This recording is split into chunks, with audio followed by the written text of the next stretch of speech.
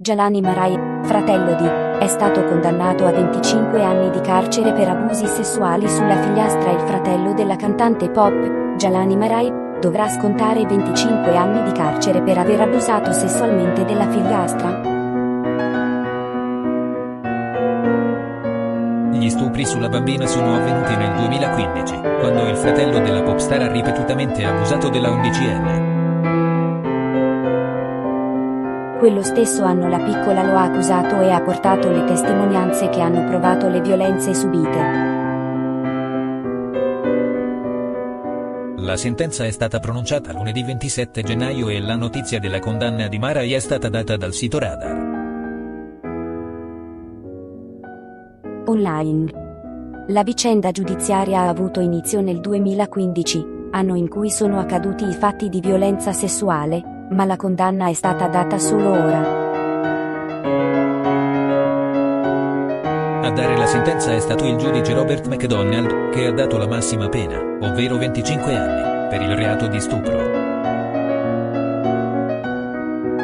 Jalani Marai ha abusato ripetutamente della figliastra. Le accuse nei confronti di Marai sono state avanzate nel 2015 ed è stata proprio la vittima a denunciarlo.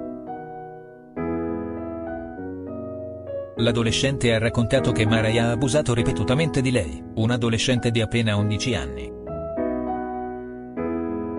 La piccola ha anche raccontato nei dettagli quanto avveniva e i termini con i quali Marai la chiamava. Le diceva infatti che era la sua bambolina. Dopo le accuse Marai era stato arrestato, ma poi era tornato libero grazie al pagamento di una cauzione di ben 100.000 dollari. La undicenne aveva parlato nelle sue testimonianze di un rapporto malsano e di come lui fosse ossessionato da lei. La piccola era apparsa visibilmente provata da quella brutta esperienza. E la sua storia familiare complicata ancora una volta viene travolta da vicende familiari abbastanza gravi e complicate.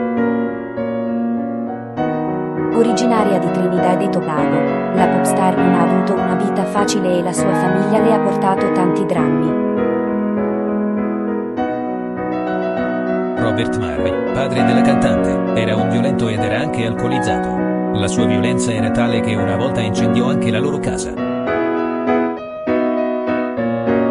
altro fatto tragico nella vita di Nicky è stata l'uccisione del cugino Nicola Stella avvenuta nel 2011. Il giovane è stato ucciso vicino alla sua casa di Brooklyn. Di questa vicenda tragica ha anche parlato nei suoi brani Champion e All Things Go, ispirati a questo fatto. La popstar ha anche confessato che da adolescente è rimasta incinta e ha abortito. L'esperienza l'ha segnata per tutta la vita.